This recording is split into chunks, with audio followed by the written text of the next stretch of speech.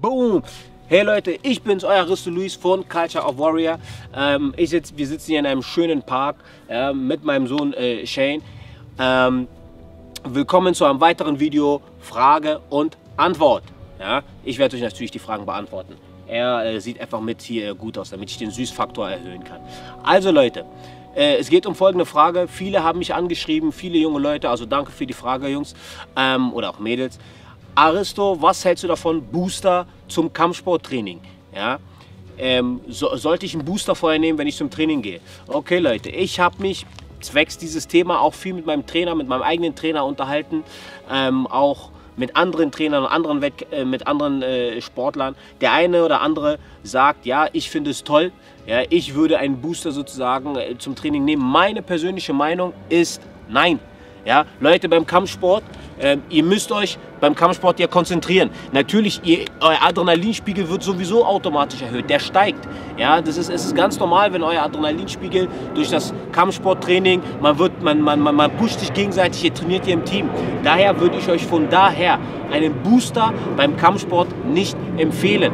Ja, Beispielsweise ihr seid im Training. Booster sind oftmals, ich kenne es ja selber aus der Erfahrung, ihr nehmt einen Booster, ja, dann ihr, ihr, ihr, ihr, schießt einfach hoch, ihr könnt euch nicht konzentrieren, ihr seid viel zu hibbelig, ja, je nachdem, was da drin ist.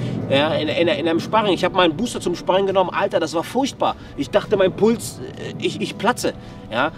Ihr müsst konzentriert bleiben, ihr müsst fokussiert sein, ihr müsst ruhig sein. Einer im Krafttraining kann, kann sich natürlich, äh, sage ich mal, den Booster erlauben. Er kann damit reden oh, und da rumschreien. Aber im Kampfsport sollt ihr auch eine gewisse Kontrolle haben. Ihr sollt da nicht durchdrehen wie ein Wahnsinniger und alles herumkloppen und da äh, alles kurz und kleiner. Und nein, ihr sollt fokussiert bleiben. Wenn jetzt mal einer sagt, ey, ich bin todmüde, es geht nicht anders. Ja, ist auch mal nicht verkehrt. Ja, ich sage nicht, es gibt auch, es gibt auch manche Booster, die man vielleicht benutzen kann. Dann gibt es auch tausende, tausende Firmen. Es gibt jetzt auch sage ich mal, allmählich äh, einige Firmen, die auch, sage ich mal, Sachen für Kampfsportler herstellen wo die Booster vielleicht so dosiert sind, ja, dass man da eher äh, Substanzen drin hat, wo man vielleicht konditionell sich besser fühlt. Sowas ja, kann man nicht empfehlen. Ich, wie gesagt, ich rede wirklich von diesen Boostern, wo du von 0 auf 100 hochschießt und danach erstmal äh, nach dem Training sagst, boah, oh, Hammer. Ja. Wir als Kampfsportler brauchen es nicht. Wir arbeiten so oder so mit Adrenalin.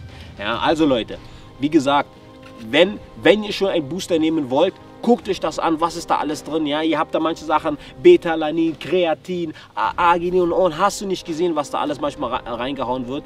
Ja, also ob das so sein muss, würde ich nicht empfehlen, aus eigener Erfahrung. Ja, also Leute, wer dazu auch nochmal Fragen hat, vielleicht welche Subs äh, es, da, es da zu empfehlen gibt, da kann ich mich auch nochmal dran setzen. Ja, also Leute, schaut euch das Video an. Ich hoffe, ich konnte euch etwas beantworten. Also meine persönliche Meinung, Booster zum Training ist no.